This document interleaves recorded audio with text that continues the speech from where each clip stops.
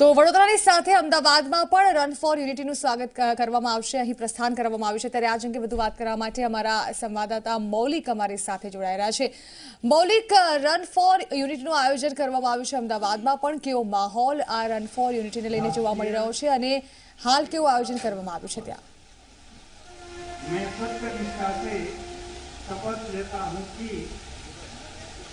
જણા એકસો બેતાલીસમી જે સરદાર વલ્લભભાઈની જન્મ જયંતિ છે, તેને લઈ સરદાર પટેલને યાદ કરવામાં આવે છે. આજના દિવસે ખાસ રાષ્ટ્રીય એકતા દિવસ તરીકે મનાવવામાં આવે છે અને રન ફોર યુનિટીનું આયોજન કરવામાં આવ્યું છે.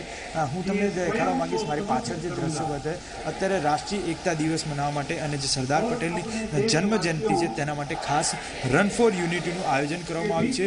ખાસ શપથ લેવડાવવામાં આવી રહ્યા છે કે આગામી દિવસોમાં તેમના ખરેખર કેવા કાર્યક્રમો રહેશે અને સરદાર પટેલ સહિત રાષ્ટ્ર માટે પોતે કેવી ભાવના દાખવે છે તેના અત્યારે હાલ શપથ લેવડાવવામાં આવે છે. ત્યારબાદ જે કાર્યક્રમની શરૂઆત કરવામાં આવશે, તે કાર્યક્રમમાં રાષ્ટ્ર ગીત સાથે આ કાર્યક્રમની શરૂઆત થશે. અમદાવાદનો જે શાહીબાગ વિસ્તાર છે જે આ જે દ્રશ્યો છે તે શાહીબાગ વિસ્તાર ખાતે આવેલ સરદાર પટેલ સ્મારકના દ્રશ્યો છે. અત્યારે ટીવી સ્ક્રીન ઉપર જે દ્રશ્યો દેખાય છે, તે શપથ લેવાડવામાં આવી છે. ત્યારબાદ રન ફોર યુનિટી માટે દોડ લગાવવામાં આવશે. અહીંયા અલગ અલગ વિસ્તારના જે સ્કૂલના બાળકો છે, તે સ્કૂલના બાળકો હાજર છે. ખાસ કરી તમને દર્શાવવા માંગીશ કે જે મુસ્લિમ બાળકો છે તે પણ અહીંયા આગળ રન ફોર યુનિટી માટે દોડ લગાવશે અને જે અહીંયાથી સ્થાનિક કરવામાં આવશે, ત્યારબાદ પોલીસ કમિશનર કચેરીથી જે શાહીબાગ વિસ્તાર છે તે સમગ્ર છ થી સાત કિલોમીટરની આ જે દોડ છે તે લગાવવામાં આવશે. મહત્વની વાત એ છે કે ક્યાંક ને ક્યાંક આચારસંહિતા લાગી ગઈ હોવાના કારણે કોઈ પણ રાજકીય નેતાઓ કે કલેક્ટર સહિતના આગેવાનો છે, ત્યાં રન ફોર યુનિટી માટે ક્યાંય ફરક્યા નથી. બિલકુલ મૌલિક જે રૂટ્સ પરથી આ રન ફોર યુનિટી દોડ લગાવશે તે તમામ રૂટ્સને શું બંધ કરી દેવામાં આવ્યા છે. ટ્રાફિક અનિયમન ન સર્જાય તે માટે કોઈ વ્યવસ્થા કરવામાં આવી છે આ રૂટ્સ પર?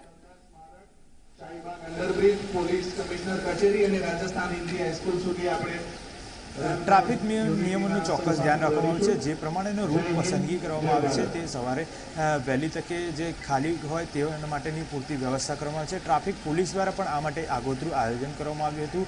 જે પ્રમાણે સરદાર પટેલ સ્મારક જે છે શાહીબાગ વિસ્તારમાં આવેલો ત્યાંથી લઈ પોલીસ કમિશનર કચેરીનો જે રસ્તો છે છથી સાત કિલોમીટરનું અંતર આ તમામ જે વિસ્તાર છે તે ખાલી કમ જ હોય છે. પરંતુ તેમ છતાં પણ તકેદારીના ભાગરૂપે પોલીસે આગત્ર આયોજન કરી અને ક્યાંક ને ક્યાંક ટ્રાફિક પોલીસ મૂકેલી છે અને જેથી કરી કોઈને અગવડ ના પડે આ રન ફોર યુનિટી માટેની સક્સેસ દોડ લગાવી શકાય.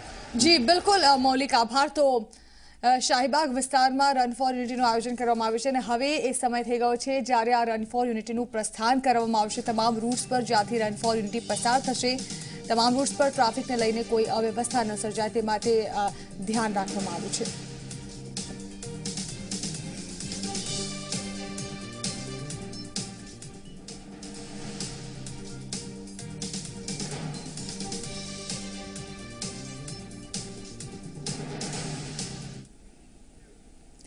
તો આજે સરદાર પટેલ જયંતિ, જેને લઈને રાજ્ય સહિત દેશભરમાં આજે રન ફોર યુનિટીનું આયોજન કરવામાં આવ્યું છે અને ઠેર ઠેર રન ફોર યુનિટીમાં ભાગ લેવા માટે